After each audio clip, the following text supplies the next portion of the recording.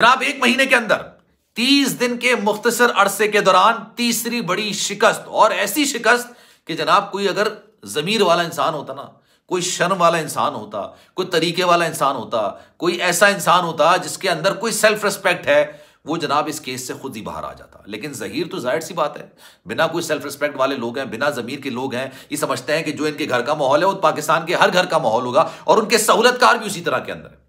तीसरी बड़ी शिकस्त का सामना करना पड़ा है पिछले तीस दिन के अंदर। और ये एक जोरदार तमाचा जहीर के मुँह पर पड़ा है, जिस तरह से वो समझ रहा था ना कि अदालत उनके हक में फैसला दे देगी। लेकिन अदालत ने उनकी एप्लीकेशन उनके मुँह पे तमाचे की तरह दे मारी है। जिस जज ने उनको सबसे बड़ा फेवर यह दिया कि उनको जो जेल के अंदर जा चुके थे, उनकी जमानत मंजूर की, उनके खिलाफ ही एक दावा दायर कर दिया। और फिर क्या हुआ?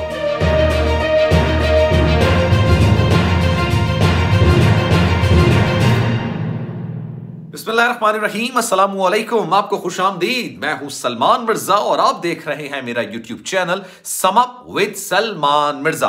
जनाब, कैसे आप लोग? मैं उम्मीद करता हूँ कि आप जहाँ होंगे, खैर वाफियत से होंगे, सेहतमंद होंगे, तंदुरुस्त होंगे। और ये वीडियो देखने के लिए आप सभी ने वक्त निकाला है, वीडियो के आगाज़ में तहे दिल से मैं आप सभी का शुक्रिया अदा करता हूँ। जनाब, जहरा काजमी के मामले में अगर आप मेदी काजमी साहब के हक पर हैं तो आपके लिए एक बड़ी खुशखबरी है। जनाब, वो कहावत आपने सुनी होगी, चोर चोरी से जाए मगर हेरा फेरी से ना जाए। ये कहावत जहीर और उसकी कंपनी पर मुकम्मल तौर पर सादिर आती है। आप मुझसे पूछेंगे कि ऐसी बात क्यों कर रहे हैं? तो उसकी वजह जनाब, पहला बड़ा झटका जहीर और उसकी कंपनी को उस वक्त मिला था कि जनाब, उनको समझ नहीं आया कि दुआ जहरा ने यह बयान अदालत में कैसे दे दिया कि जनाब वो अपने घर आना चाहती है, अपने वालदेन के घर जाना चाहती है। अपने घर चली गई। उसके बाद दूसरा बड़ा झटका यह लगा कि जब हफ़्ते के रोज मुलाकात हुई और ये तनहाई में मुलाकात हुई। ये मुलाकात हुई लेडी पुलिस इंस्पेक्टर की और साथ में शेल्टर होम के जो अमला था, उन्होंने मुलाकात करके पूछा कि भाई, आपके साथ कोई ज़बरदस्ती तो नहीं की जा रही? आपके साथ कोई मामला ख़राब तो नहीं है? आप अभी भी यहीं रहना चाहती हो और अगर आपके जहन में कोई भी शक व शुबात है तो हम वापस आपको शेल्टर होम मुंतकिल कर सकते हैं। तो जनाब दूसरा बड़ा झटका जहीर को उस वक्त लगा जब उसने कह दिया कि नहीं, मैं अपने घर नहीं जाना चाहती। अब तीसरी बड़ी शिकस्त, आप यकीन जानिए, ये लोग, मैं आपको बताने जा रहा हूँ कि अभी किस महाज पर एक एप्लीकेशन दायर की गई ताकि इस केस को मजीद तूल दिया जाए, जहीर एंड कंपनी की जानब से। अभी तक जो फैसले निकलकर सामने आ रहे हैं ना, ये जो जेली दरख्वास्तें होती हैं उस पर निकलकर सामने आ रहा है। ट्रायल कोर्ट में तो भी मामला चलेगा। अभी तो फर्द जुर्म आयद होगी। फर्द जुर्म आयद होने के बाद गवाहों को पेश किया जाएगा। फिर जनाब ट्रायल होगा। ट्रायल होने के बाद इनको सजा मिलेगी। लेकिन हुआ क्या कि अदालत की जानब से, जिस जज की जानब से, जिस अदालत की जानब से जहीर और शबीर को सबसे बड़ा रिलीफ फरहम किया गया कि उनकी जमानत की दरख्वास्त को मंजूर किया गया। उन्हीं के खिलाफ एक प्रोपेगेंडा बनाया गया। जहीर और शब्बीर ने अदालत से रुजू कर लिया और जनाब उनके जो सहूलतकार, जो लाहौर में बैठे हैं, जो कराची में जिनकी फ्रेंचाइज है, जिनकी मुख्तलिफ़ शहरों में फ्रेंचाइज है, उन्होंने उनके खिलाफ प्रोपेगेंडा शुरू कर दिया। उस जज के खिलाफ प्रोपेगेंडा किया जिसने जहीर को सबसे बड़ा फ़ायदा पहुँचाया कि उसको जेल से बाहर निकलवाया। अब हुआ ये ऑनरेबल जज के खिलाफ उन्होंने दरख्वास्त दी कि भाई इस जज की जजमेंट पर हमें यकीन नहीं है। हम इनकी जो ट्रायल कोर्ट के जज हैं, उनको हम तस्लीम नहीं करते, उनकी अहकाम को हम तस्लीम नहीं करते, आप काइंडली इनको चेंज कर दिया जाए। ये एप्लीकेशन दायर की गई। अब उनको लगा कि जनाब यहाँ पर हमारी सुनवाई हो जाएगी। हालाँकि आप यकीन जानिए, ट्रायल कोर्ट की जज की जानब से ही जहीर और शब्बीर की रिहाई मुमकिन हो सकी थी। उनको जेल से बाहर आने का मौका मिल सका था। इनको गिरफ़्तार किया गया था ना, और पुलिस का तो रवैया जहीर और शब्बीर के साथ इतना कोई दोस्ताना इतना कोई प्यार भरा, वो मोहब्बत भरा है कि जनाब, अदालत कहती है कि आप इनको गिरफ़्तार करें और डेकोरम में बाकायदा कुछ ना प्रोटोकॉल्स होते हैं you have to follow it आप उसको फॉलो करना पड़ता है। आपको वहाँ पर उसको हथकड़ी लगानी है। हथकड़ी लगाने के बाद उसको मुलजमान की तरह, मुजरिम की तरह, क्योंकि जुर्म साबित हो जाता है तो आपने उसको पुलिस की गाड़ी बिठाना लेकिन बड़े प्यार और मोहब्बत के साथ तफ्तीशी ऑफिसर उसको गाड़ी तक लेके गए और जनाब, जेल में भी मामला सबके सामने थे कि उनको बड़ा कोई अयाशी वाला माहौल फराहम किया जा रहा था। बाहर जो केस की सुनवाई हो रही थी, वहाँ पर वकला बैठ के, जहीर और शब्बीर को उसको सुनवाया करते थे। तो जनाब, उसी जज के खिलाफ इन्होंने एक एप्लीकेशन दायर की कि ट्रायल कोर्ट के जज पर हमें, उनकी जजमेंट पर हमें यकीन नहीं है, हमें एतबार नहीं है, जानबदारी का उस पर इल्ज़ाम लगाया गया और उसके बाद कहा कि इसको तब्दील कर दिया जाए। तमाचे की तौर पर वो एप्लीकेशन इनके मुँह पर फड़का दी और कहा कि जनाब, ये जज तब्दील नहीं होंगे। आपकी जो दलाइल है ना, उस दलाइल में वज़न ही नहीं है। ये लोग सिर्फ़ बदतमीजी करना चाहते हैं प्रोपोगेंडा करना जानते हैं। ये लोग तामीर करते हैं इमारत जिसकी बुनियाद सिर्फ़ झूठ पर तामीर होती है। झूठ पर रखी हुई होती है और उसके ऊपर ये पूरी इमारत तामीर कर देते हैं।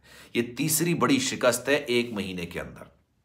एक महीने के अंदर जहीर उसकी कंपनी उसके सहूलतकारों के मुँह पे जोरदार तमाचा है। पहली शिकस्त, उनको ये वहमो गुमान में नहीं था कि दुआ जहरा अपने घर जाने की बात करते अदालत आते हैं। अच्छा ये दुल्हा बन के गए थे। आप दिलचस्प सूरत हाल देखिए। ये शेरवानी पहनकर गए और इनके जो सहूलतकार यूट्यूबर हैं, वो कह रहे हैं कि, जनाब, आप दुल्हा बनकर आए हैं। आज आपकी मुराद पूरी हो जाएगी। आज अपनी दुल्हनिया ले जाएँगे। अभी कौन सी डी की मूवी चल रही है? क्या बेशर्मी है? क्या बेगैरती है? लेकिन खैर, चलें। उन्होंने जो तबाही मचाई हुई थी, वो मचाई हुई थी। उसके बाद ये अदालत जाते हैं। अदालत में दो हज़ार खड़े होकर बोलती मैं अपने वालदेन के साथ जाना चाहती हूँ। उसमें बेशर्मी का अंदाज़ा आप ये लगाइए कि इनके जो सहूलतकार हैं कहते हैं, मास्टर स्ट्रोक खेला है दुआ जहरा ने, क्योंकि वो घर जाके जहीर से रब्ता कर सकती है। शेल्टर होम में तो फ़ोन अवेलेबल नहीं है ना, गैजेट्स अवेलेबल नहीं है, जिसके ज़रिए वो जहीर से रब्ता कर सके। इसलिए उसने घर जाने का फैसला किया ताकि वहाँ जाके वो जहीर से रब्ता कर सके। जनाब, उसके बाद क्या हुआ? उसके बाद ये हुआ कि मनोड़ा पे जाके इन लोगों ने जहरा काजमी और उसके घर वालों ने बाकायदा से पिकनिक मनाई इंजॉयमेंट की सेलिब्रेशंस की, क्योंकि बीच में जितने भी इवेंट्स आए थे, वो सारे स्किप हुए थे।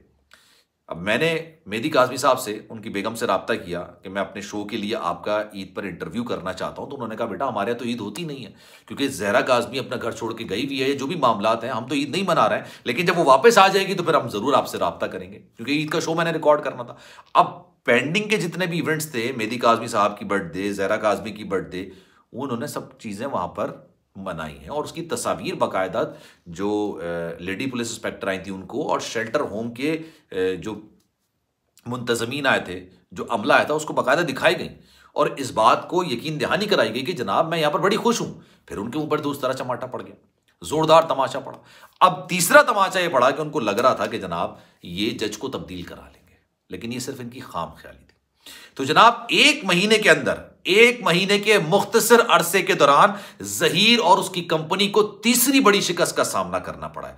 मैंने आपको इस वीडियो के आगाज़ में कहा ना कि इनका काम सिर्फ़ झूठ की बुनियाद पर, झूठ की नींव पर इमारत खड़ी करना है। कोई शादी, कोई निकाह नहीं। निकाह खा इस बात को तस्लीम करने को तैयार नहीं। गवाह इस बात को तस्लीम करने को तैयार नहीं। वो खामा में दुल्हा बने घूम रहे हैं।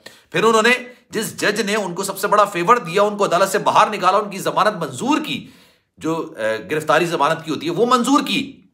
उस पर उन्होंने एक अजीब सा दावा दायर कर दिया। तो इस पर आपकी क्या राय है? मैं चाहूँगा कि आप कमेंट सेक्शन में राय का इजहार ज़रूर कीजिए। सलमान मिर्ज़ा को दीजिए इजाज़त। ज़िंदगी रही सेहत रही और आपकी दुआएँ रही तो इनशाला आपसे फिर मुलाकात होगी। ख्याल रखिएगा। अल्लाह हाफिज।